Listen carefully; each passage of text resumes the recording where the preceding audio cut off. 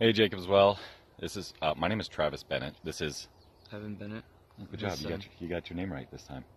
I always get my name. right. That's the one thing I can do. hey, we miss you guys. Uh, we really look forward. Uh, I look forward every year uh, to Man Camp, being able to reconnect with the guys, uh, just uh, connect with people, uh, people I miss um, and love, and then uh, just to be there and see what the uh, other people are going through and know you're not alone. Yeah, I got to go there for my first year. It was pretty cool because even though I was still a younger person, was, I was still able to do everything everyone else was doing, and it still was very meaningful for me. So, thanks. We miss you guys, uh, and uh, take care.